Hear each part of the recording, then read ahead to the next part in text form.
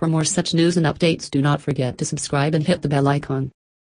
कार्तिक आर्यन और सारा अली खान की फ़िल्म लव आजकल का ट्रेलर रिलीज़ हो चुका है।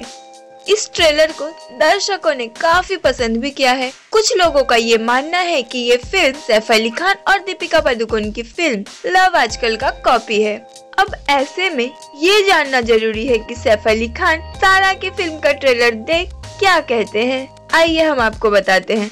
सैफ अली खान ने एक इंटरव्यू के दौरान इस फ़िल्म के ट्रेलर को अपनी फ़िल्म के मुताबिक कमज़ोर बताया है। दरअसल, साल 2009 में दीपिका पादुकोण के साथ आई ओरिजिनल लव आजकल को लोग ज़्यादा पसंद करते हैं। ऐसा सैफ अली खान का कहना है।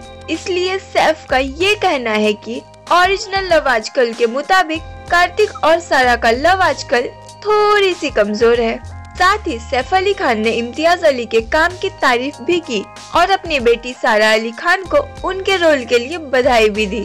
सारा अली खान और कार्तिक आर्यन की फ़िल्म लव आजकल का ट्रेलर देख ऐसा लगता है कि फ़िल्म में दो दौर की कहानी दिखाई जा रही है।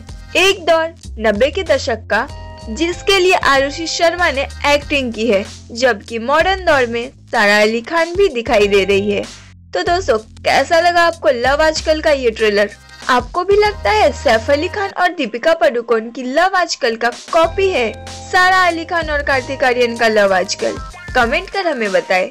और भी खबरों के लिए सब्सक्राइब करना ना भूले। गपशप तो।